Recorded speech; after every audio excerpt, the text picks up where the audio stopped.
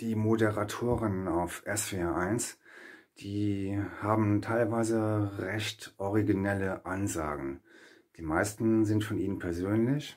Fangen wir mal mit der ersten an, die ist aber nicht von persönlich, die ist von jemand anderem. Aber es muss eine schon besondere Persönlichkeit sein, denn die Ansage ist folgendermaßen. Die Nacht mit Adrian Beric. Ähm, als nächstes wäre da Dirty Tam. Bei der klingt das meistens so. Der Abend mit Dirty Tam, hallo! ist so ähnlich. Ähm, Michael Luke. Mit Michael Luke. Veit Berthold. Mit Veit Berthold. Hat der schon wieder so seinen Vornamen betont, dieser Veit? Ja, Sie wissen schon. Wer wäre denn da noch?